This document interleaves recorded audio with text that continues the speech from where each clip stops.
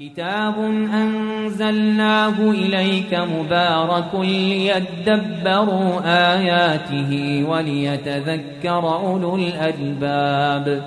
ألم يأن للذين آمنوا أن تخشع قلوبهم لذكر الله؟ لاحظ هنا أسند الخشوع إلى القلب. أن تخشع قلوبهم؟ نعم. الخشوع هو حقيقة أمر مشترك بين القلب والجوارح. يعني خشوع الجوارح أيضا. أيضا. في القرآن قال أبصارها خاشعة. وخشعا أبصارهم. خشعا أبصارهم.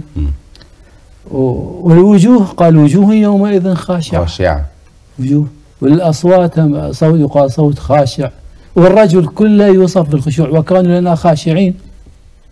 وتراهم خاشعين من الذل. هو الخشوع.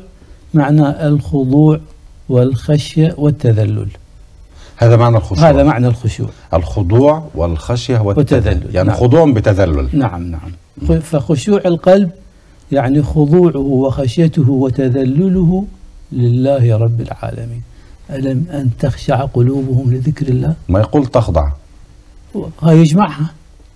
في آه، تخشع أعم طبعا الخشية يعني الذل والخشية آه،. والتذلل والخضوع. فتجمع عجيب. هذا الشيء. نعم. تج- تجمع هذه المعاني. كتاب أنزلناه إليك مبارك ليدبروا آياته وليتذكر أولو الألباب.